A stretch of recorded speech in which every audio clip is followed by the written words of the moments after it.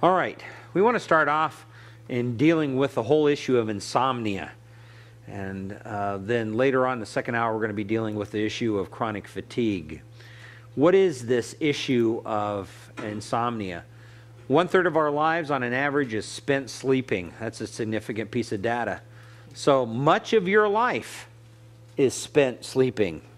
That's encouraging. You realize that a lot of time goes by and you are sound asleep when it does. Um, quality of sleep is a critical issue for many people. It's not just how much time is spent in bed, but whether or not you are experiencing high quality sleep. Now, sleep is just as important as balanced nutrition and exercise in maintaining good health as well. In fact, when a person doesn't get enough sleep, it has a hallucinogenic effect upon their life. Uh, back just a few years ago, there was a guy who tried to set the Guinness Book of World Records by going, uh, he, was a, he was a radio disc jockey and he was going to do uh, two or three days of continuous broadcasting without getting any sleep. With all that ex, um, um, energy that's expounded uh, in terms of broadcasting and not getting any sleep, by the third or fourth day, he was climbing the walls and he was uh, seeing things that weren't there. Uh, there is a sense in which lack of sleep produces, this is the way God has created us, in us certain, uh, causes a certain mechanism where now reality is completely distorted. Chemicals are released in the brain that are not normal when we've had the proper kind of sleep. Um, or there's a deficit of certain chemicals in the brain as well. And we begin to imagine things that aren't there. We begin to see things that aren't there. Um, and this particular disc jockey saw large bugs crawling up the wall. And um, um, so, as a result of it, they had to go in and drag him out of the control room, the broadcast control room, uh, having gone completely nuts. And that was all as a result of sleep. Sleep has this hallucinogenic effect upon people, just the way hallucinogenic drugs do, or lack of sleep um, has that effect. So if you're not getting good sleep, it will have an effect upon your health and ability to think and your ability to concentrate as well. Your capacity to be able to stay focused on a particular task or a particular problem will be greatly affected if you're not getting the proper kind of sleep that you need to get. It's interesting what has happened, what has been attributed to uh, a lack of proper sleep. Uh, these disasters occurred in the wee hours of the night. Some of you probably remember the meltdown at Three Mile Island uh, in New York State. That happened in the wee hours of the night, in the morning. And there are some who attribute it to the fact that there was um, sleep cause uh, effect in, in many of the workers that were supposed to oversee the site at that time. Um, some of you don't realize, but the Exxon Valdez oil spill on Bligh Reef in Alaska occurred in the wee hours of the night. And there are so many who believe that that's attributed to the fact that the people on duty, uh, whether it was the captain or whoever was on, that was on duty of the ship, had actually were so sleep deprived that they made terrible judgments. Um, or Chernobyl, the nuclear uh, power plant in Russia. It was during the wee hours of the night that uh, that disaster occurred as well. So, um, or at least the beginning of what occurred, what eventually became a disaster. So, all of that was a result of sleep. Now, those are kind of macro effects of lack of sleep. You can only imagine what, what's going to happen on the micro effects of individual people in their lives when they don't have enough sleep, how it affects, I mean, you as a student, your studies, your ability to concentrate, your ability to read, your ability to write when you haven't had the proper kind of sleep. Um, most adults need about eight hours per night of sleep on an average. Now, that doesn't fit everybody perfectly, but if we were taking a look at most studies on this, seem to confirm that about, oh, less than probably 1% to 2% of adults only need three hours of sleep a night. And those are the type of people that are usually real extreme geniuses. Einstein only needed a couple hours of sleep every night. That's all he needed. Extreme geniuses tend to be the type of people that only need that amount of sleep at night. Um, some people need four hours of sleep, which would be oh, probably about two or three percent of the population. There are others who, who uh, need about four or five hours of sleep. That would be about 4% of the population. Six hours of sleep then suddenly jumps up to 10% of the population. Seven hours of sleep jumps way up to 30% of the population. Eight hours of sleep, 45% of the population. Eight hours of sleep. Yes? How do they measure this? I mean, they just kind of like taking a survey, or do they? Yeah, obviously they have a representative group, probably about a thousand. That's a kind of a standard norm group, and they survey.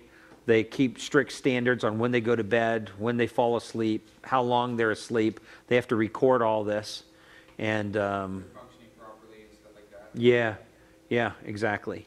Um, how they're reacting to life. Um, nine hours of sleep a night, uh, about 6% of the population. And 10 hours of sleep a night, again, probably about 2 or 3% of the population. So it gives you a little bit of an idea on, on who needs what. Um, but your average person, average normally functioning person, between seven and eight hours of sleep a night is the vast majority of people by far. And if you're not getting that somehow, you're probably depriving yourself of some kind of sleep. So that's critical. So let's talk about the issue of insomnia in relationship to sleep. Insomnia, not being able to sleep. I want to make some observation. Insomnia is a subjective experience because it describes a variety of different experiences that people have um, in relationship to their sleep and their patterns. So, somewhat, it's kind of hard to define insomnia. Uh, it can involve difficulty falling to sleep or staying asleep or enjoying a restful night's sleep. It can involve that. Um, it's usually considered a symptom that may be caused by many factors. Um, uh, like, for instance, where you live in the world. Uh, if you live in Alaska, where um, the sun shines six months of the year, most of the day, and then it's dark six months of the year, most of the day. Then the, during the times of light, you're probably awake an awful lot, and it's hard to go to sleep. During the times of darkness, you tend to sleep a lot longer and a lot more. Um, if you're way up north, so it could be factors like that. Sleep deprivation is associated with bizarre behavior.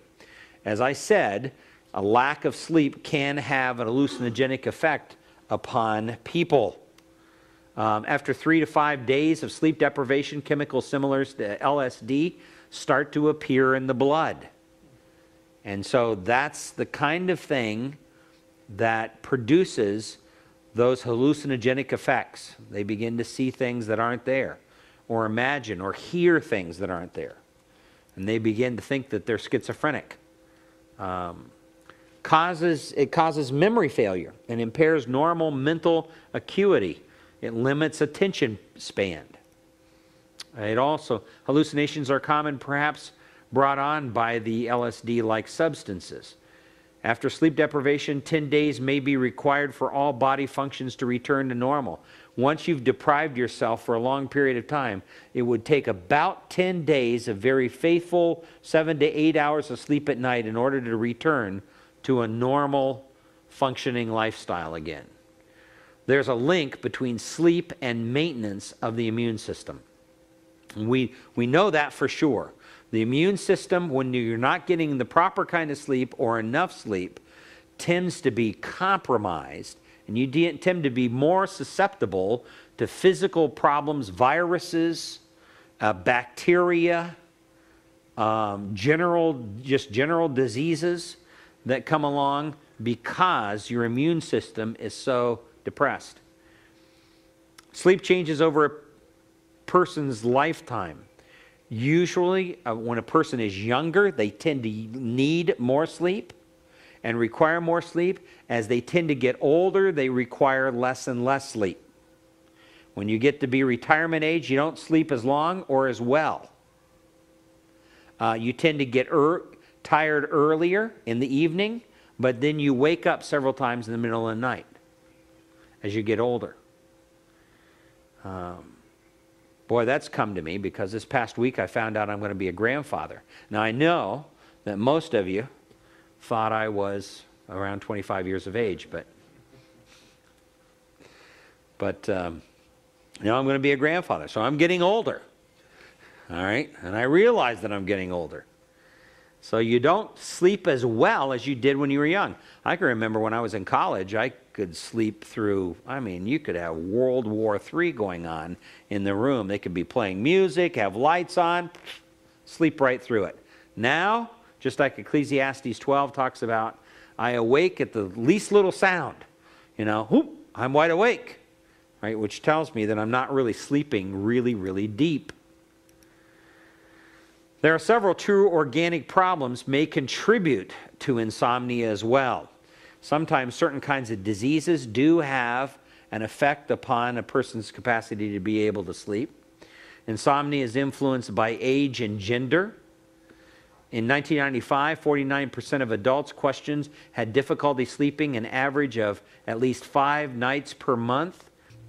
This equates to 87 million people with problems sleeping. Stress and worry are some of the greatest reasons that are given. 31% admitted to dozing off during while driving a vehicle. 12% of those who did were involved in an accident. 37%. Wow. That almost is scary driving the LA freeways. You think of 37% or 31% of all those out there uh, have the potential to fall asleep. Um, no wonder there are accidents the way we have them. Well, what are some of the costs that are related to insomnia? Well, in 1990, direct costs of medical care or self treatment includes costs borne by parents, organized healthcare providers, insurance companies, or the government, were estimated at $10.9 billion. By 1993, costs had risen to 15.4 billion. 1994, the indirect costs, such as uh, decreased productivity at work, healthcare needs, uh, property costs related to accidents and medical costs associated with the comorbid conditions were estimated to be between 70 mil billion and 92 billion annually. Wow, that's pretty serious, pretty serious cost. Now, it could be questioned how those numbers were really arrived at, but I would imagine that everybody putting those numbers together would say that these are estimates. But they do take it, it does take a toll financially. So let's define what are we talking about as best as we can. Well, a pro- precise, precise definition is difficult because the amount of sleep needed by each individual to function at peak performance varies. Some studies suggest no, newborns require 16 to 18 hours. Children uh, to the age of 10, 9 to 10 hours. Uh, age 10 to adult, uh, 7.5 to 8 hours. Elderly, 6.5 hours. Um, but too many make exceptions to this hard, these these hard and fast rules. There are many who do make a lot of exceptions. Um, what are solutions for insomnia? Well, many, uh, many people obviously turn to medications, um, uh, sleeping pills, uh, whether they're over the counter sleeping pills or prescription type of sleeping pills. There are many who do that. Um, uh, some turn to sleep hygiene um, where you set a regular time to go to bed and wake up. You try to normalize your routine as much as possible. Even if you're staying in an unfamiliar place, you try to eat dinner at the same time you normally would. You don't go to bed early. You get up and out of bed at a regular time, even if sleep was very poor. So you make certain that the sleeping room is quiet, darkened, and cool. And then a person tends to do better in terms of their sleep. All of that is just what is commonly referred to as common sense or hygiene. Uh, but it's amazing how many people don't practice good wisdom or hygiene when it comes to the, these kind of issues and in terms of sleep. Exercise uh, regularly early in the day or preferably in the late afternoon, but not in the evening. Avoid uh, within three hours of bedtime because that produces certain chemicals in your body when you exercise. And if you're doing it two to three hours um, before you go to bed, those chemicals will still be working on your body. So at least exercise three hours before you plan on going to bed and going to sleep.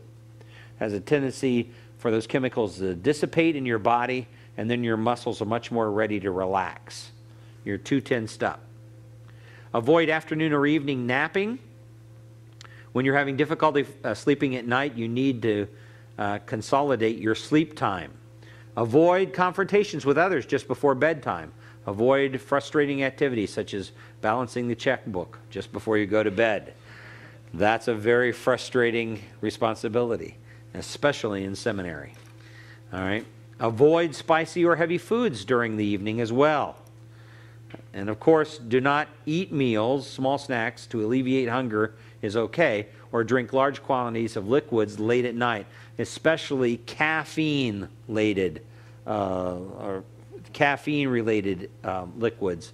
Um, coffee, uh, sodas with caffeine in them, well, that'll set you that'll have a tendency to work on your system and you won't sleep as well at night either.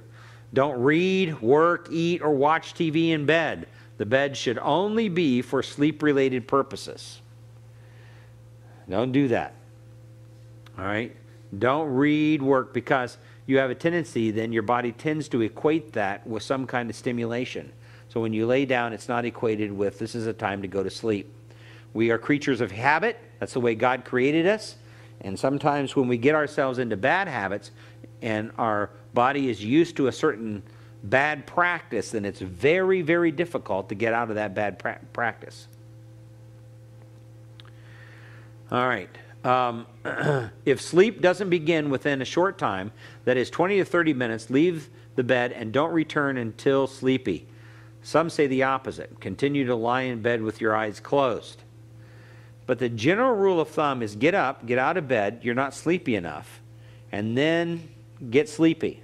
Maybe go do something, read, whatever it is that's going to help you to be sleepy, and, and then go back to bed.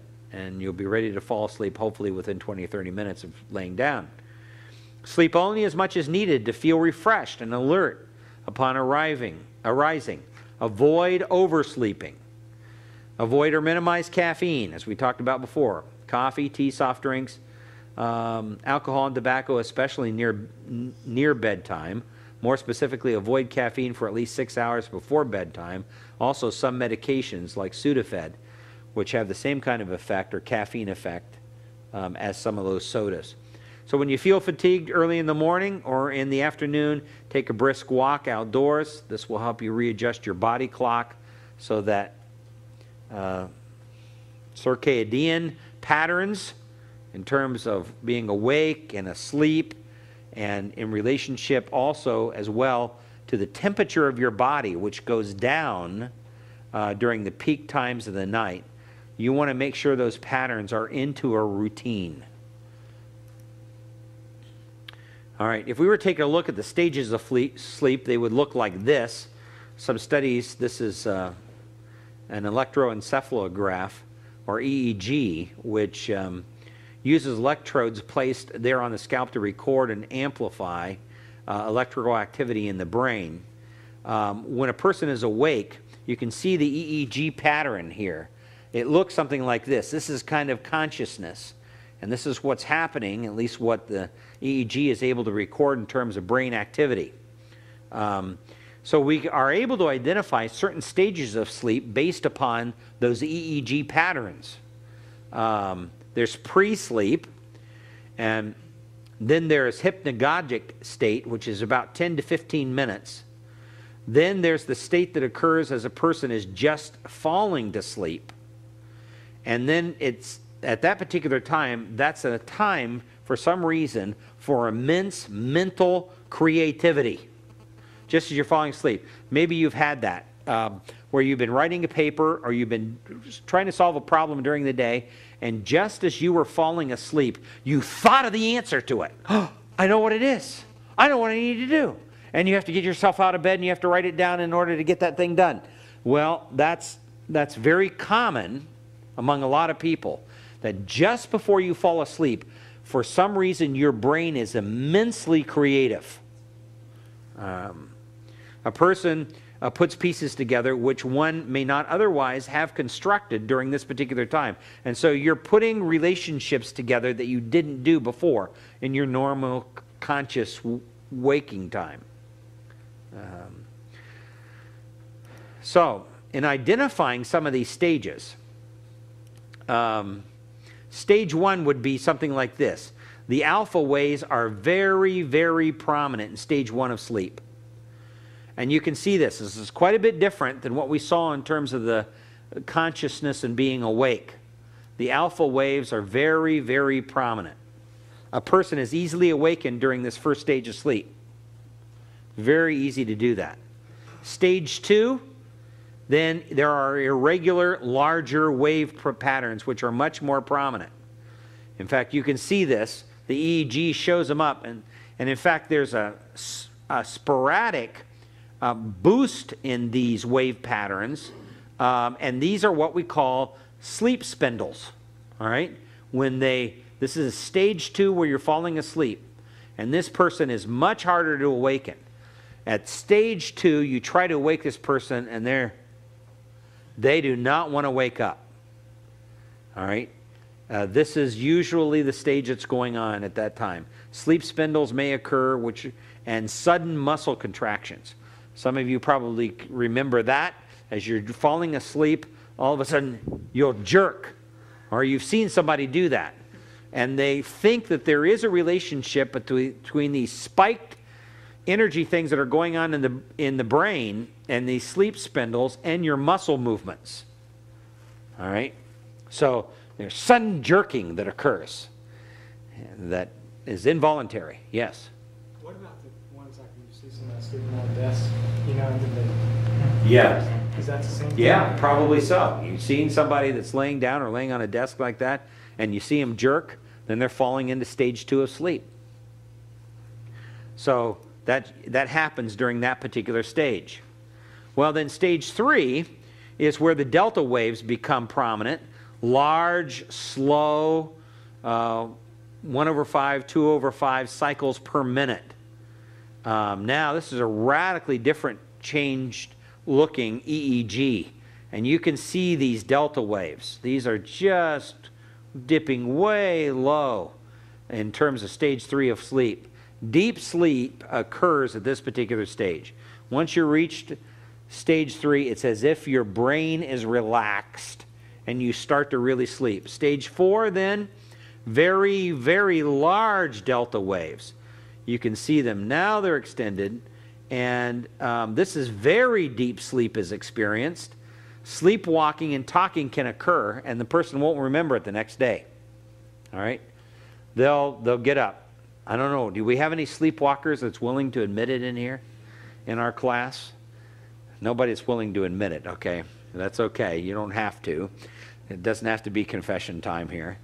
But uh, we had a gal in our congregation where she was uh, had a terrible problem with sleepwalking, and in fact, her parents had to um, put uh, little bells and stuff on her door, which would wake them up in the middle of the night when she'd open her door and leave, or bells on her window because she'd crawl out her window. One day they found her. She was in her uh, pajamas. She had walked all the way down the street and was sitting at a public park bench in the middle of the night. And mom and dad was sound asleep when it happened. And the next day, the girl had no recollection of what had happened, even though she was able to kind of, in a groggy fashion, interact with her mom and dad. They basically took her back home, put her to sleep, and you know, bolted the door so that she couldn't get out the door in the middle of the night. Um, so it's this stage four of sleep that that occurs. And this is also the stage where nightmares and terrors may occur. Um, now, what's happening when when the brain goes through all this, well, God has designed us in such a way that when the brain goes through all that activity, it's as if your brain is purging a lot of the sensory data it has taken in all day. You have a lot of data coming in that is, uh, in a sense, meaningless data to you. Um, temperature is data coming to your brain. Um, smells are data coming to your brain eyesight. You notice things even though you don't concentrate. You don't notice an awful lot of things. Daylight activities, things, people going by, stuff like this. There's data going in, data going in. Things you hear. If you listen very carefully, you can see hear something running in the background. Or you can hear our data projector and a little fan running there. Well, your brain's registering all that data, even though you choose not to focus on it. And it's at sleep at night that it's almost as if God has designed it in such a way that all that's purged. So the next day you'll feel refreshed. There's a significant change that occurs. So those are the four stages of sleep. Now it's interesting. It's during rapid eye movement sleep, or what they call REM sleep, that sawtooth looking EEG patterns begin to emerge. A person's eyelids begin to flutter. You ever watched somebody sleep? Their eyelids begin to flutter and this is where they're in rapid eye movement sleep.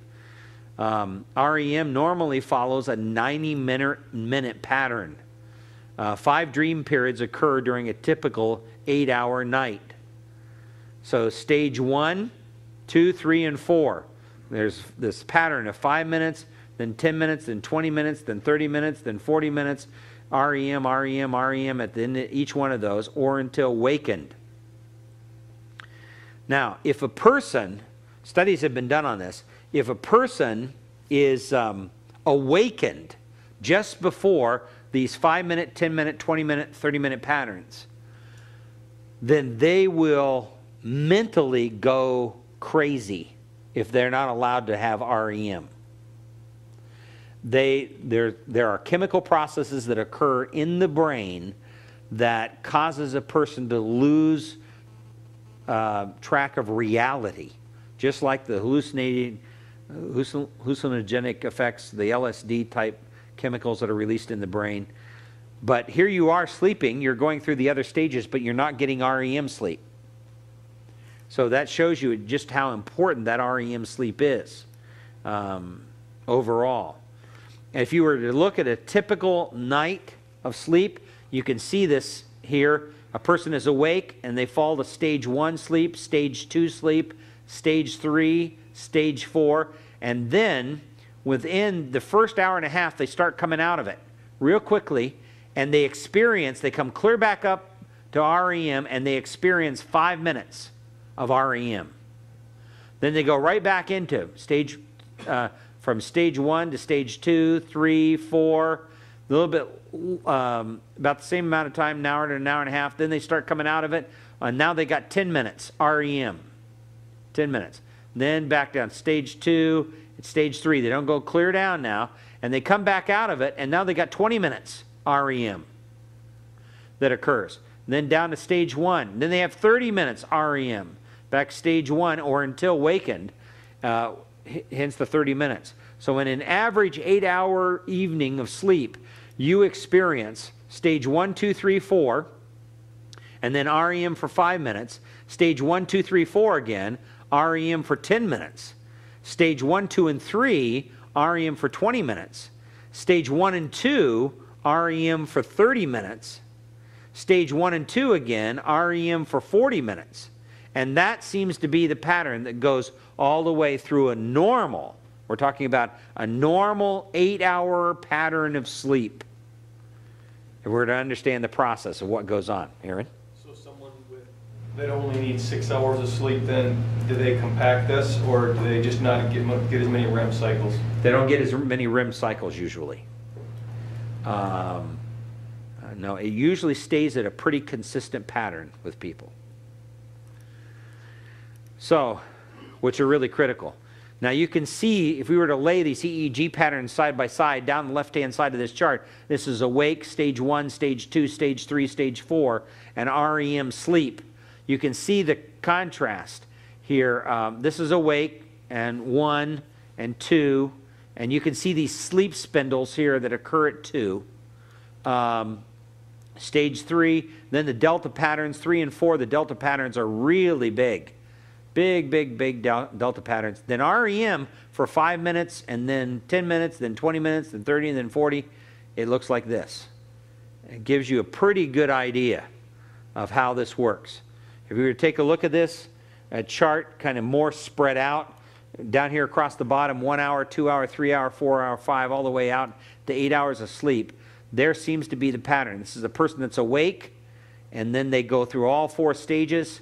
They're up to five minutes REM, down three or all four stages, back up to 10 minutes REM, down two stages, then up to um, uh, REM up to one, and then or stage two, and then REM uh, for uh, 20 minutes, 30 minutes, and then 40 minutes, all the way out. That gives you a little bit of an idea of how those sleep disorders, um, or I mean, how a normal night's sleep, I should say, should go.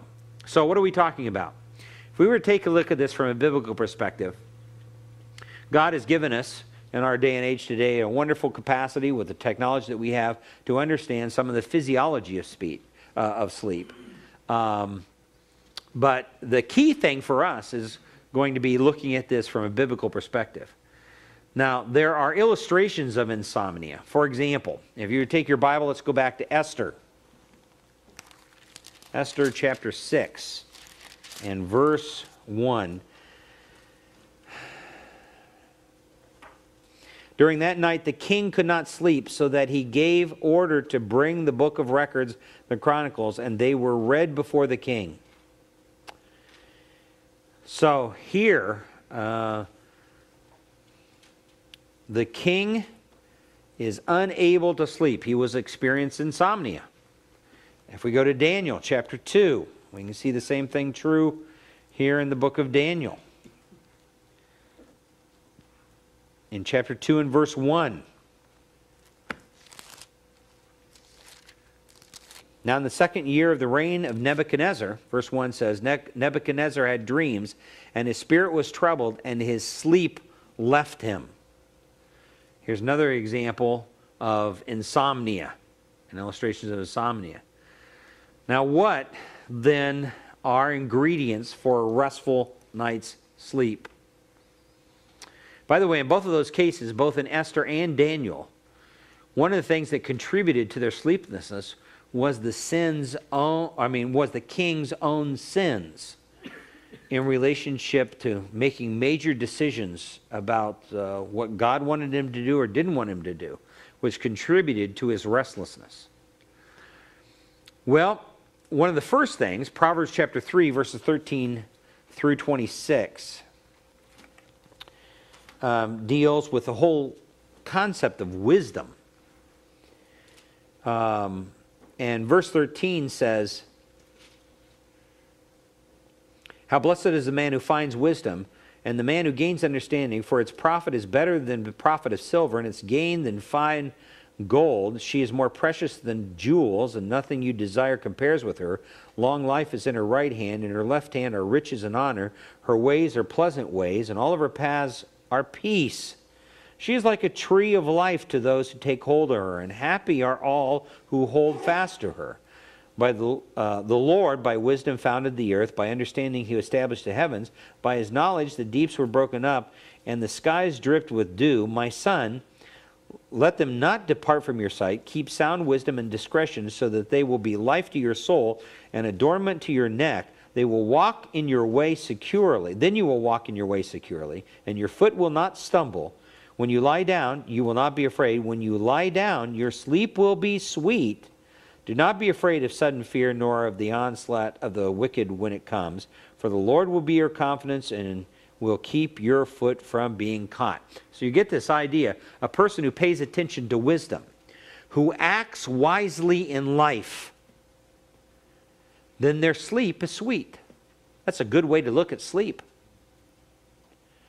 Who is wise in the general affairs of life, who uses biblical wisdom, who's committed to biblical morality, then their, their sleep is sweet.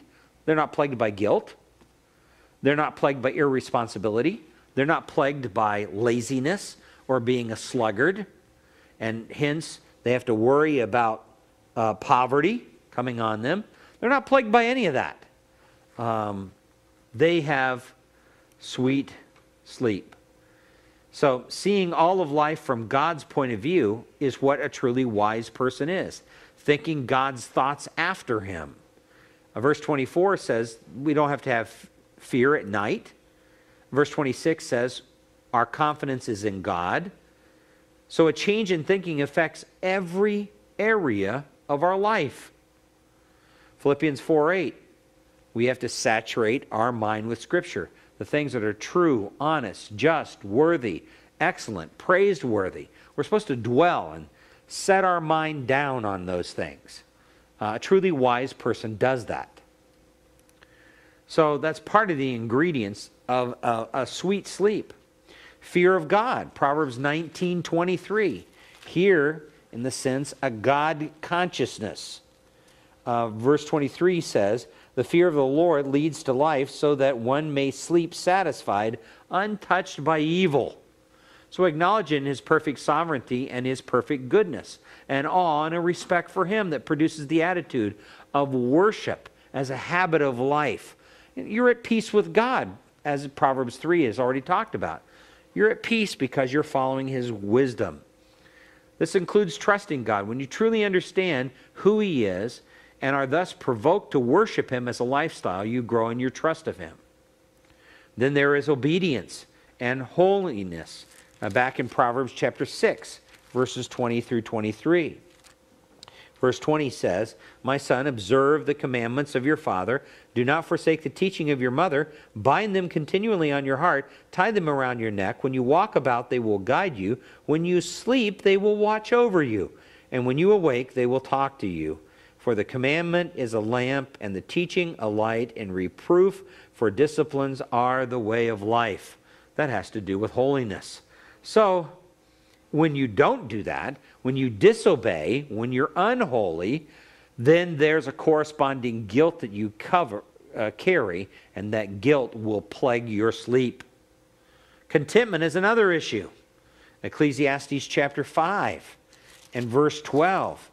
Ecclesiastes, here Solomon is dealing in this autobiographical uh, polemic.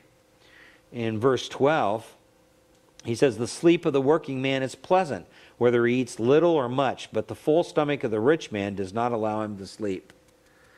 In other words, you work hard, you do all the duties you're supposed to do that day, then you'll sleep better at night. The person who doesn't get, uh, who, who concentrates only on on um, satisfying their own appetite, then doesn't end up sleeping very well. Um, that's a very self centered part of life. Um, a good illustration of that, as you can see with the Apostle Paul in Philippians chapter 4, verses 10 and following, where Paul talks about his own life being at peace. But he says, But I rejoice in the Lord greatly that now at last, you have revived your concern for me. Indeed, you were concerned before, but you lacked opportunity. Not that I speak from want, for I have learned to be content in whatever circumstances I am in. I know how to get along with humble means. I also know how to live in prosperity.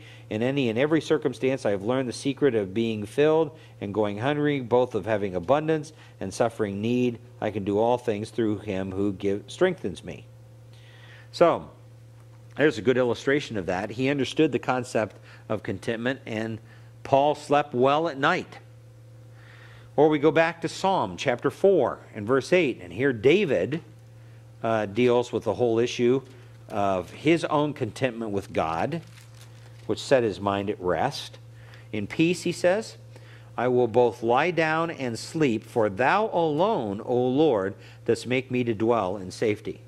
Which, by the way, is a wonderful verse to get someone who's struggling with insomnia to memorize. Psalm 4 8. It's a great one. In peace, I will both lie down and sleep, for thou alone, O Lord, dost make me to dwell in safety. But what do you do if I just can't get to sleep, or if I wake up in the middle of the night and I can't get back to sleep? Well, I've got to see the inability to sleep in light of the sovereignty of God. That's vitally important. Believe that these times represents opportunities from God. There's an opportunity for examination. Is it because of guilt? Is it because of sin in my life? Maybe it's a lack of trust in God or a lack of a biblical mindset that's really oriented towards wisdom. Is that the reason? Or, as the psalmist says in Psalm 139, verses 23 and 24. Let's go over there real quickly and take a look at that. Verses 23 and 24. Search me, O God, and know my heart. Try me and know my anxious thoughts, and see if there be any hurtful way in me, and lead me in the everlasting way. So the psalmist here, David says, uh, Search me. I want you to know me.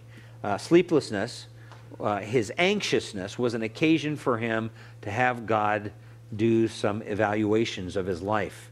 Is he doing the right thing? It's an opportunity for medit- meditation as well, um, as Psalm 119, verse 148, um, talks about. Uh, my eyes anticipate the night watches that I may meditate on thy word. Or Psalm chapter 16 and verse 7. Psalm 16 and verse 7 has to do with meditation as well. Um, uh, I will bless the Lord who has counseled me. Indeed, my mind instructs me in the night. So he meditates on the things of the Lord in the night. And then there's Psalm 77 and verse 6. Psalm 77 and verse 6, where um, this is a psalm of Asaph. Verse 6 I will remember my song in the night, I will meditate with my heart, and my spirit ponders. Or there's Psalms 77, verses 11 and 12. I shall remember the deeds of the Lord. Surely I will remember thy wonders of old. I will meditate on all thy works, all thy work, and muse on thy deeds. Or, going back to Psalm 4 4, where the psalmist here says, Tremble and do not sin. Meditate in your heart upon your bed and be still, still Selah. So it's an opportunity for meditation. It's also an opportunity for communication. Um, Psalm 4 1 it's an opportunity ultimately to pray to God. Uh, when we're experiencing sleeplessness in the middle of the night, this is a great opportunity to use the time wisely. Answer me when I call, O God of my righteousness. Thou hast relieved me in my distress. Be gracious to me and hear my prayer. Or Psalm 77 again, back to what Asaph has to say. verses 1 and 2. Uh, he says, My voice rises to God, and I will cry aloud. My voice rises to God, and he will hear me. In the day of trouble, I sought the Lord. In the night, my hand was stretched out without weariness. Or, of course, we could jump to the New Testament. And there, the Apostle Paul again in Philippians chapter 4, verses 6 and 7, which really has to do with anxiousness and worry um, where he says in verse 6, he says, Be anxious for nothing, but in everything, by prayer and supplication with thanksgiving, let your requests be made known unto God, and the peace of God, which surpasses all comprehension, shall guard your hearts and your minds in Christ Jesus. So, prayer for your own burdens is an opportunity for that, and prayer for others and their burdens kind of gets your focus off of self. That's critical. That's the thing that tends to keep us up and tends to keep us worrying. Yes? As a general rule, would you suggest uh, doing these outside of bed, meaning getting up and out of bed like we had said before? Or can they, would you say, just lie in bed and do this? What's you? No, I think it's not wrong to lie in bed and do this, but um, you'll tend to get sleepier if you get up and you and you do it, and then you come back when you're real sleepy. And 20 to 30 minutes then, that rule? applies Yeah, well? it, you should be going to sleep once you lay down within 20 to 30 minutes. That should be a rule of thumb. But the other one was twenty to thirty minutes away from bed, correct? Or was that just until you're tired? No, that's just until you're Oh, tired. Okay. No. You're only away from bed until you're tired. Not, there's no set limit on that. All right. We summarize it like this. Address the possible spiritual causes of insomnia. What would they be? Well, lifestyle of habitual worry and anxiety not trusting God. That can cause insomnia. You got to find that out as a good counselor. Or maybe there's guilt over disobedience that has been not dealt with in a proper way from a biblical perspective. They haven't confessed it to God or to others, or they and they haven't sought, they haven't repented before Him uh, and sought His forgiveness or the forgiveness of others. Or there's a lack of hard work doing all you know to do uh, and can do to solve the issues, but doing more, no more than that. So there's a lack of hard work in the person's life. We're not having a biblical mindset, a mind that's so saturated with Scripture that they, they think biblically as a lifestyle. Their tendency is naturally to think worrisome, pessimistic, God dishonoring, negative thoughts rather than hopeful thoughts, thoughts that rest upon the promises of God, thoughts that trust in the atonement of Christ and his constant intercession as a high priest before God um, that are supposed to give hope and security. Uh, there's a lifetime, uh, a lifestyle of discontentment with people, with circumstances, and with God. And then when God keeps your eyelids open, they can see it as an opportunity for examination, meditation, and supplication before God. This becomes the key time and the key opportunity. All right, after we come back from break, we're going to deal with chronic fatigue syndrome. Yes, question. What about all the drugs that are out to help people sleep? What's the, what's thoughts on that from your perspective? Um, most people, if they are practicing good, wise sleep hygiene, do not need the drugs. They are quick fixes. Most people don't need them. Now, I realize there are some people who have legitimate diseases that cause insomnia, and the drugs are a real asset. So I don't want to rule that out. But for your average person, it has to do with bad lifestyle. And they shouldn't have to take the drug. Um, and like we said, we we tried to stress here is the fact that if they've done everything they can and they still aren't sleeping well, then they have to see this as an opportunity to actually use this time actively to pray, to meditate uh, upon the Word of God, and to examine their own life, see what's going on. Uh, in order to wrap up the stuff that we talked about in regards to insomnia, I want to recommend an article for you. It's just an excellent one. In fact, it just recently came out in the Volume 4, Issue 1, Winter 2007, the Journal of Modern Ministry. And in the back of it, there's an article written about sleep disorders and biblical counseling by Charles Hodge, who is a uh, medical doctor, not the theologian. All right, the medical doctor. Um, uh, sleep disorders and biblical. And what he has written there is really, really good. It goes on through through several pages of the issue of uh, sleep loss, the causes of sleep deprivation, scriptural teaching on wise use of resources, sleep and wise use of resources, uh, treatments for sleep loss, changing schedules, obesity treatments, practical sleep hygiene, uh, medications and insomnia. Um, and then he talks about um, in one of the charts there uh, medical diseases and disorders that are known to affect sleep. Um, this list is by no means exhaustive, but uh, uh, menopause will do it, benign prostate uh, hypertrophic uh, trophy, I should say, obesity, bursitis, obstructive sleep apnea, um, cancer, uh, peptic ulcer disease, chronic pain, reflex, systematic uh, dystrophia, uh, um, circadian rhythm disorder, REM behavior disorder, cough, restless leg syndrome, fibromyalgia, rheumatoid arthritis, gastroesophageal reflux, seizures, and um, uh, seizures, I should say, and heart disease.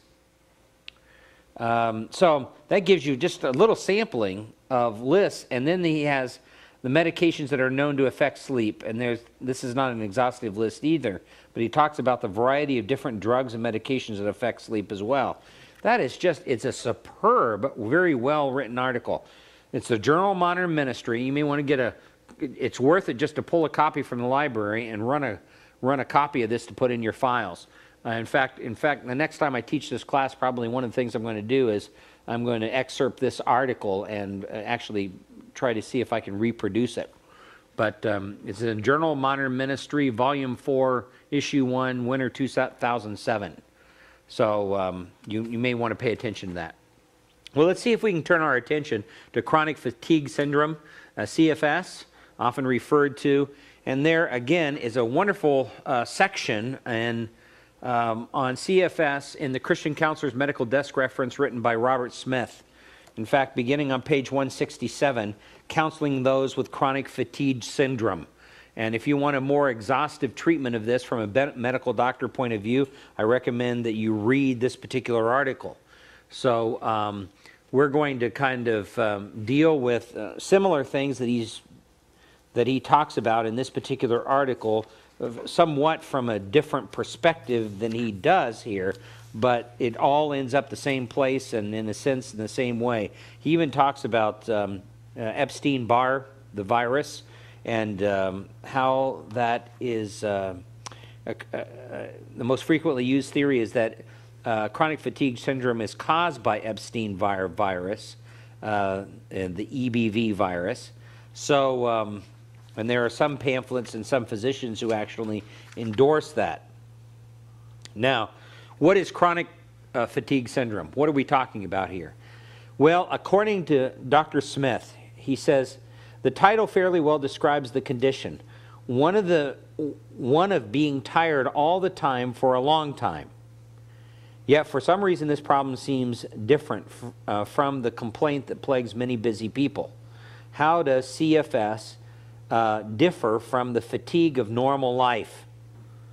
Um, and then he talks about even the medical literature is somewhat vague about that. Um, but uh, how, that, that is a critical question. How does uh, chronic fatigue syndrome differ from just normal fatigue? You're just flat out tired because you have been exhausting yourself for a long time. Well, let's make some observations about this. Number one, um, CFS is not fatal. It's not a fatal disease, never was. Number two, it's this is a good thing. It's not progressive. It's not progressive. And what we mean by that is um, it doesn't seem to, to progress to, to higher or different stages. It usually, once it's acquired, seems to stay the same. Thirdly, there's no cure. And part of the reason that there is no cure is because it's very, very difficult to diagnose. that makes it very, very difficult to diagnose. Um, some say up to 24% of the population actually is affected by CFS. Symptoms last about two and a half years and then return to normal after that. Two thirds of the people that are affected by it are women, 15 to 34 years of age, uh, two to one over men. All right? Two to one over men. Um, that's has caused some people to speculate, we're not sure, that somehow CFS is related to um, the menstrual cycles of a woman or of her growing older and her ability to reproduce and um, somehow there seems to be a link there uh, between the two but it's only an associational link or, or uh, a distance correspondence to it. No direct cause has ever been proven. Um, but the fact that two thirds are women is certainly a significant uh, statement. Um, uh, some of the medical information on this, uh, there's no proven diagnostic or therapeutic approach exists to it um, at all. The main focus is on alleviating symptoms through exercise, nutrition, and drugs, oftentimes Prozac, Xanax, or some kind of placebo seems to work. And the placebos, again, like we talked about in relationship to depression, here seem to work just as well as the Prozac and the Xanax in terms of treating CFS. At one time, it was thought it was caused by Epstein Barr virus, but 90% of American adults have the, an antibody for this. So um, that wouldn't account for 24% of the population still having it if it was an EBV virus that was causing it. Um, there are other proposed causes of this as well, like environmental toxins, um, and a, a, lot of diseases that aren't diagnosed, often it goes back to environmental causes and toxins, and some have been proven to be true. Uh, this could be, that could be an issue. Other types of viruses that have yet to be diagnosed or identified. Uh, increase in stress um, is another issue. Uh, heredity um, could be an issue, that it would run in families then. There have been no studies, to my knowledge, that have demonstrated that. Some have suggested it, but not demonstrated it as a hard fact. Um, too much exercise. Um, there are some people that um, believe that uh, too much exercise is actually what brings on chronic fatigue syndrome. Or, and this is interesting, saliva. All right, that there is something in the chemical balance of the saliva that changes the condition of the body in relationship to chronic fatigue syndrome. Well, if we were to take a look at this, the criteria, uh, both are required here, major and minor criteria. Major criteria, new onset of persistent or relapsing debilitating fatigue or fatigability in a person who has no previous history of similar symptoms that does not um, resolve with bed rest and that is severe enough to reduce or impair average daily activity below 50% of the patient's pre-morbid activity level for a period of at least six months. So that would be part of the major criteria that would define CFS. Um, now, um, exclusion of numerous other clinical conditions that cause, that could produce similar symptoms include malignancy, uh, autoimmune disease, bacterial, uh, fungal, or parasitic disease, uh, localized infection, disease related to immune deficiency virus, which is the HIV um, infection, uh, chronic inflammatory disease, neuromuscular disease, uh, endocrine diseases, uh, drug abuse, um, um, side effects of chronic medication or other toxic agent. So, so it, it's interesting. There could be a relationship between these, but um, um, a direct relationship has never been demonstrated from a medical or biological standpoint. Minor criteria would be this. Uh, to fulfill a symptom criteria, a symptom must have begun at or after the time of onset of increased uh, fatigability and uh, must have persisted or reoccurred over a period of at least six months. Individual symptoms may or may not have occurred simultaneously. At least eight of the following have to be met in this case. Symptom credibility would be this. Like, for instance, there'd have to be eight of these in order for it to be defined as chronic fatigue syndrome. Anytime I read this, every time I go over this, I think about the ADD and ADHD criteria. I mean, it's very, very similar where you've got to have a certain number of each one of the categories uh, that are listed there in order to be definitively diagnosed with AD or ADHD. Um, has to be mild fever, oral temperature between 99.5 and 100.5, or chills.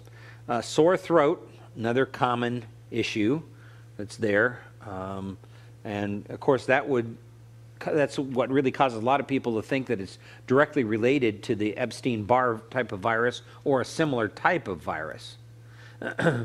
uh, painful lymph nodes in the anterior or or posterior cervical or axor- axillary um, distribution, or unexplained generalized muscle weaknesses, or muscle discomfort or uh, myalgia, generalized fatigue for at least 24 hours after previously to- tolerated uh, exercise, generalized headaches, unlike any previous pain, um,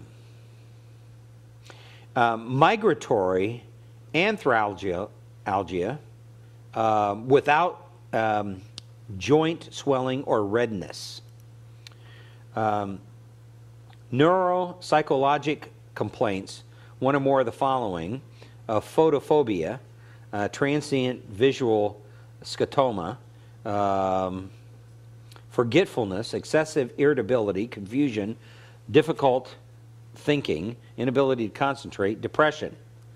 Wow, that describes most seminarians. Right, and the NTI exam. That's right. Uh, sleep disturbance is another thing, and um, and description of the main symptom complex within hours or days. Um, now, you need about eight of those, uh, of those 11, to really be definitively diagnosed with chronic fatigue syndrome. What's the physical criteria then? It must be documented by a physician on at least two occasions, at least one month apart. Uh, low grade fever, as we saw earlier in that criteria, non um, exudative uh, which basically has to do, as you can see, um, with viruses or sometimes bacteria from a cold, flu, or sinus infection that involves the throat or uh, palpable or tender anterior or posterior cervical or axillary lymph nodes. So that would be some of the physical criteria that actually a doctor would look toward in order to try to lay some kind of diagnosis of um, chronic fatigue syndrome on a person. What about the approach then at this point?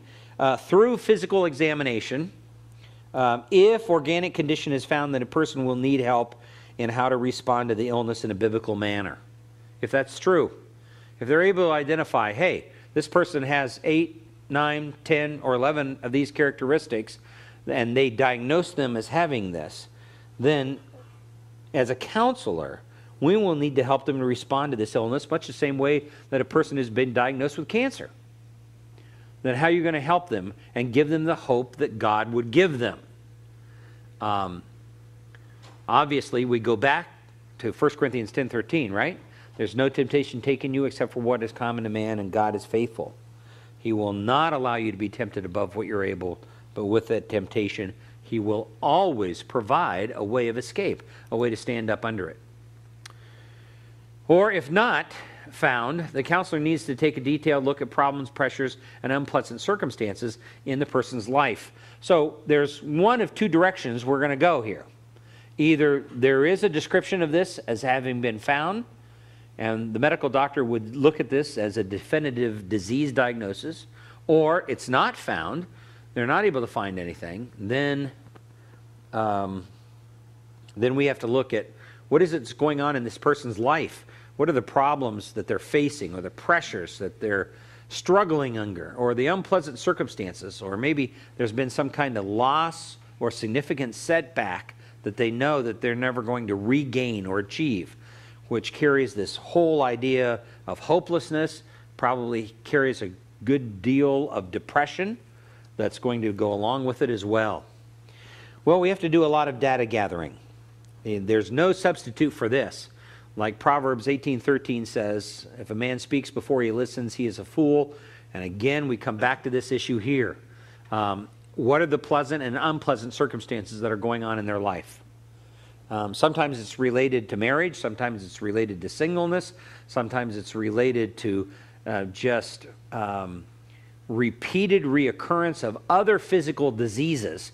And even though their body has conquered that, they've received the correct type of medical treatment, they seem to come down with this unexplainable, undiagnosable issue of chronic fatigue syndrome. Um, what's good or, or bad about them, we need to ask the counselee about their circumstances. We need to then evaluate their responses. What do they think about their responses? Um, and, um, and, and teach them how to respond to them in a godly way. Do they see them through God's eyes, or are they resentful?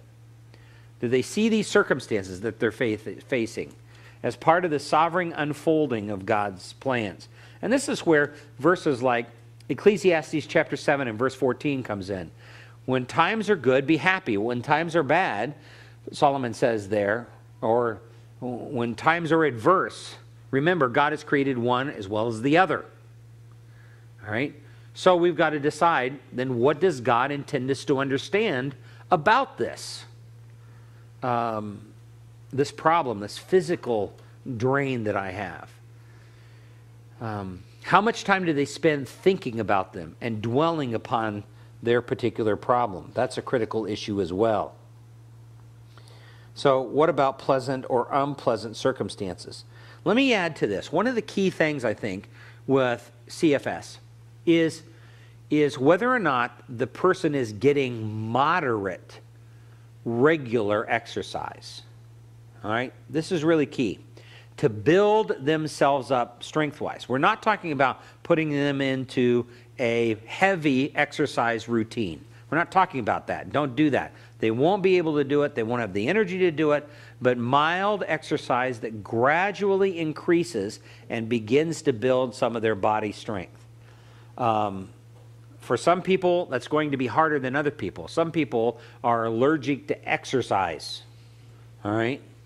And uh, boy, it's hard to get them to just go out and walk. I want you to walk, go out and walk around your neighborhood for 10 minutes today. That's all I want. Just 10 minutes. Walk around the neighborhood. Oh, that's hard to do. Then you increase it to 15 minutes, then 20 minutes, then 30 minutes around the neighborhood. At least that's 30 minutes more than they were doing before. Uh, mild exercise, which kind of gets all the right things pumping in the body. Um, Look for factors that may contribute to the fatigue. Fatigue can be aggravated by responses to life. Um, they, they're not responding to life in a real good way. And so, as a result of that, their tendency is to just bow out. I mean, we see this. Take your Bible just for a moment and go over to um, Proverbs chapter 26 um, you get the idea that um, the lazy man or the sluggard of Proverbs oftentimes has the same kind of characteristics. Boy, you're going to get people mad if you directly launch into this, but has the same kind of characteristics of the chronic fatigue syndrome person. Um, that doesn't mean that everybody with CFS is a sluggard. I don't want to say that. Because some people really want to work on their problems. So you've got to be very, very careful when you, when you come to this. But when you get to Proverbs 26, verse 12, he says, Do you see a man that's wise in his own eyes? There's more hope for a fool than for him. The sluggard says, There's a lion in the road, a lion in the open square. As the door turns on its hinges, so does the sluggard on his bed. The sluggard buries his hand in the dish. He's weary of bringing it back to his mouth again. The sluggard is wiser in his own eyes than seven men who can give a discreet answer. What's implied there is that seven men have just walked into his house to persuade him hey, we were just outside. There's no lion in the road. Everything's okay. Get up. Well, he's so lazy. On the one hand, he's got an arrogance and pride to him. He won't listen to the counsel of seven men who answer discreetly. There's no lion in the road, they say. He won't listen to that. On the other hand, he's so lazy, he doesn't even he doesn't even have and I know that this is kind of an ancient analogy have enough energy to lift the, the food to his mouth and to feed himself. Um, sometimes a, a person that's suffering from chronic fatigue syndrome is like that. Now, please, again, don't go away saying that what we're talking about here is that a person with chronic fatigue syndrome is always a sluggard. I'm not saying that. I'm just saying that there are characteristics of a sluggard that are similar. And there are some who think they have chronic fatigue syndrome when in reality they don't. They're lazy. They are sluggards. And, and as a result, there has been a, just a general running down of their body. And when their body gets run down, then they don't feel good. And they're susceptible to more colds and more viruses and more disease um, than the average person. And um, um, so it has a physical effect on them. Um, furthermore, there's frequent thoughts of unpleasantness of fatigue. And they start to, um, the thoughts of that drive them into depression.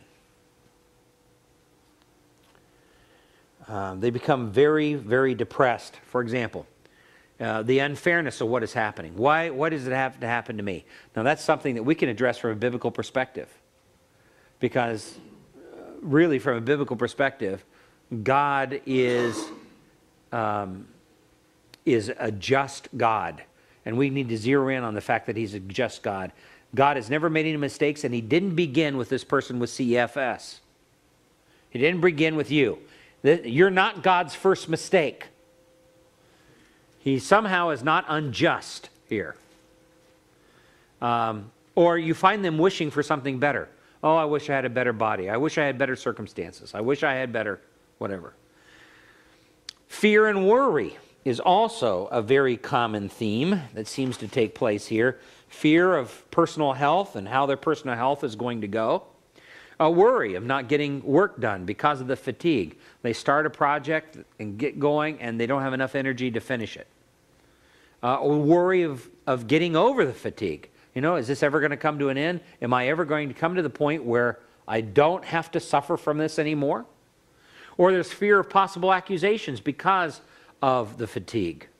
Um, they fear that somebody's going to come along and accuse them of possibly being lazy or being a sluggard. This is something that they, they worry about they are fearful of. Or there's lack of proper sleep. What are the thoughts when lying in bed?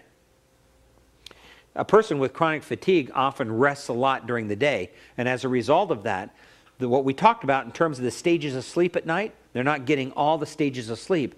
So that, again, has a cumulative effect upon their body. That wears on the immune system and represses the immune system. So, um, all of those things Attitude is another issue. They may have been accused of faking the symptoms, right? And um, most people that come to you that are professing Christians are not going to do that. They're not going to fake it. Um, they're really describing what they feel, right? Um, they're more concerned with the praises of men than the praises of God. And that's the reason why their attitude is so negative, right? Because they're they're obviously not going to receive much praises from men. From a man standpoint, they look lazy, they look uh, non responsive to life, they look unhappy, they oftentimes look depressed, uh, they shuffle around, um, there's no spring in their step. Um, or maybe guilt um, is a critical issue here. Um, and, and, of course, there is no such thing as false guilt. We've talked about that in previous counseling classes, but no such thing as false guilt. False guilt doesn't exist. Guilt is a fact that has to do with culpability before God. Um, if they are aware of unconfessed and unrepented of guilt that's a part of their past, this will have a drain on their conscience and their attitude as well. Unconfessed sin does that. Uh, David talks about that when he didn't confess his sin um, his bones, as it were, wasted away within him. Um, or G here, is the person taking advantage of the fatigue for some reason? Are they taking advantage, advantage of this by overreacting to everything? Or they're attempting to manipulate other people. Well, I can't do this. I can't do that. I can't fulfill this responsibility. I can't fulfill that responsibility. You're going to have to do this for me. You're going to have to do that for me and they use their chronic fatigue syndrome as a way to manipulate other people. These are things that you've got to be aware of in counseling and becomes really a source of frustration and strife within families. So, are they using it for this particular purpose? Um, what are some of the possible causes here? Well, The fatigue may be the result of one's responses to the problems of life, not a result of a virus. In, until later on, medical science is able to dem- demonstrate that definitively. Uh, quote unquote psycho, uh, psychosomatic. Uh, uh, people, because of their unbiblical responses to the problems in life, create symptoms. Uh, in fact, psychosomatic is kind of an old term now. It's uh, psychoneuroimmunology now instead of psycho, psychosomatic. Psychoneuroimmunology is the, is the new term for this, but it means the same thing. That when people think that they're sick, then they start to manifest symptoms of that sickness. All right? Um, and then it creates the symptoms. Then, secondly, uh, not organic, but a habit. Um, in, in, other words, um, this is a way that probably has a preconditioning element to it, goes way back in their life, maybe from the time that they were a child. They learn to respond to life in this way. And it's a withdrawal issue. They learn that they received a lot of sympathy and a lot of support, a lot of kudos from people when they act helpless or they acted weak or they acted fatigued. They realize that that was the case. And so as a result, they fall into a life pattern that's that way. Um, or it's organic. I mean, obviously, as biblical counselors, we're not going to rule out the fact that there may be a, a, um, a component of this that is really organic that hasn't been discovered yet. Is this organic? And maybe it's just not known yet. Well, that's possible, but that doesn't change it a whole lot in relationship to our counsel to people. Because if it is an organic problem, then as I said before, you're going to treat it like you do every other disease. And by the way, uh, there's excellent, excellent, the first chapter, first chapter or so of um, Dr. Bob Smith's book here, The Christian Counselor's Medical Desk Reference, uh, he talks about a Christian's response to illness and disease. And that's, that's just very excellent a biblical development of how to respond to that kind of thing. In this particular case, if it is organic, then you can teach them hey, listen, we live in a sin cursed world. Disease is a result of that sin cursed world. And we're all infected with some kind of disease, one way or the other. And the key is not so much whether or not I have a disease, the key is my response to it from God's perspective. How am I handling that? Which brings us to the issue of unbiblical responses. So, oftentimes you are able to identify um, people with CFS, they have unbiblical responses. Uh, this energy has been used in a non constructive manners without benefit of relaxation from the fatigue.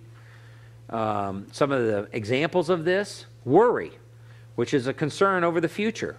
Uh, the wrong day can't act upon the future. Rather than releasing bodily energy through productive activity, it actually activates more energy that is not used. So, worry hypes the body up and uses up productive energy in unproductive ways. And so that person is in this pattern that repeats itself of, of getting worry, then fatigue, no energy. Worry, fatigue. Worry, fatigue, worry, fatigue. And it drains energy in an unnecessary way. Or there's focusing on unsolved problems and the discomfort from them also wastes the energy and hinders the restful sleep.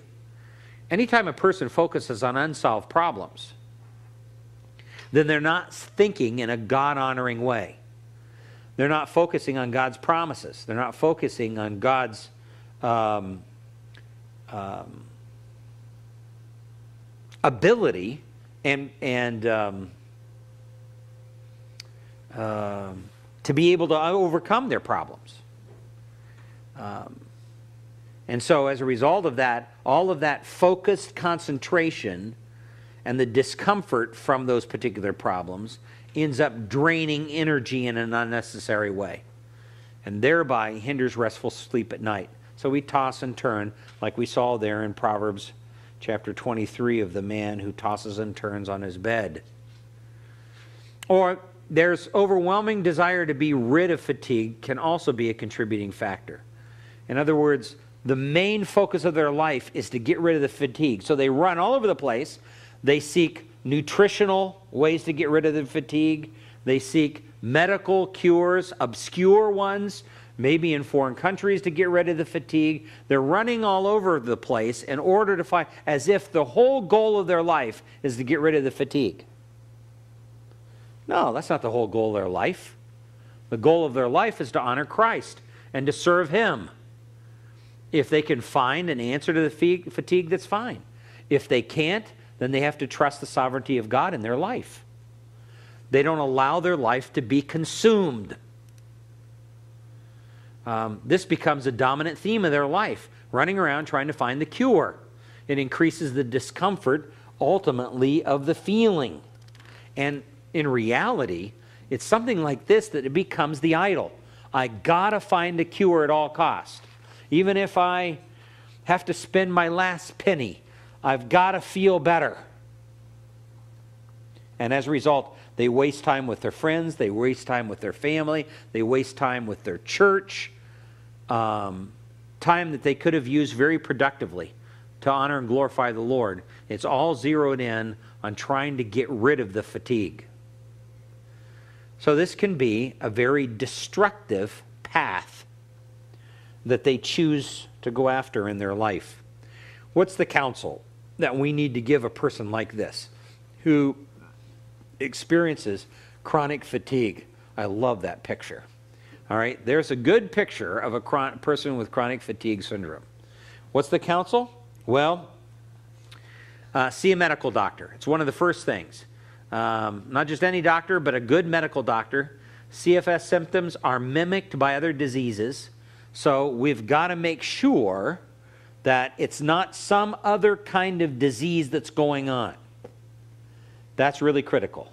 So the first thing you've got to do is see a doctor spend a lot of time gathering data about their life, their attitudes, their thoughts, their actions and reactions to unpleasant situations, stresses, worries. This is really key. Um, helping them keep a journal of um, their thought, a thought journal, can be very productive and will also help you to identify whether or not this person is still struggling with depression. Don't minimize the problem by calling the fatigue imaginary. I don't even get into that with counselees. I don't even I don't even debate whether or not it's imaginary or real. I just assume that they're coming with the problem that it is a problem for them. Whether it is imaginary or real, God will identify in the long run if we deal with this biblically. Okay? So I don't even debate that issue. That's a non-issue.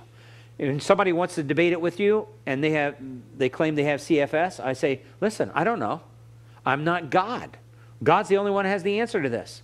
But I do have a very clear direction from his word on how we need to go about handling this or looking at it. Um, it is a real symptom. All right? It is a real symptom. We're not calling it necessarily a real disease but it is a real symptom in this particular case. What are the reasons for the illness? Well, as we alluded to just a minute ago, the curse of sin is part of the reason. Um, sin engendered as well. Um, there are some things that we do that bring on, uh, we handle our life, we don't treat our uh, bodies well, and that brings on certain diseases as well. That's sin engendered diseases, like James 5 15 and 16 talks about. Um, or maybe, as the Apostle Paul acknowledged, maybe it's the type of thing that is to prevent sin in that person's life. Paul had a weakness, a thorn in the flesh, whether that was a person or a disease. We can go back and forth and debate on that. There's different theories that run around there. What is that thorn in the flesh? Paul had a thorn in the flesh, and he said that God had given it to him because of his the surpassing greatness of his revelations to keep him from becoming too proud. So is there a possibility that this chronic fatigue syndrome is actually a tool of God to enable this person to be more holy? Is that a possibility? And this is something that they're going to actually struggle with for the rest of their life. But it is to be looked at as a very positive thing, not negative, that it's God's tool of sanctification in their life. And can they view it almost the way the man who was born blind in John 9, can they view it as something ultimately that brings glory to God? So, as a result of this, it results in a healing. Um, or his healing resulted in, the, in bringing glory to God. Can this, whether that person is healed or not, bring glory to God? Um, even if they're not healed, is that a possibility? Well, if there is no organic cause, then look for unbiblical responses to life. And especially what you're dealing with here is patterns. You're looking for patterns, attitudinal, and actions and reactions to unbiblical things of life. Where are those patterns? How have they formed in their thinking and behavior? Help your counselor see that it is idolatry when getting rid of the fatigue is more important than pleasing God and being responsible in spite of the fatigue. And that's when it be, that's when then getting rid of it becomes the reigning, ruling motive of the heart that drives and controls them. Remember, the symptoms again are real. Even if there is no way to identify that it is an organic cause, remember the symptoms are real. You may need to help in scheduling, discipline, taking thoughts captive. You can't expect as much from a chronic fatigue person in terms of actual mental or physical exertion, but you got to expect something. And so you may have to schedule, even though compared to the normal person, it's not a very rigid schedule. You may have to talk about discipline issues, but compared to the normal person, it's not as rigid. Or taking thoughts captive, their ability to concentrate is not as great, but you're still aiming at a goal. You're helping them rein in their life and control what they can control to God's honor and glory.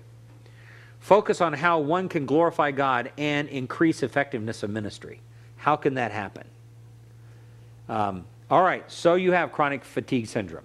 How can you glorify God and increase your effectiveness as a result of this? That's the real critical issue.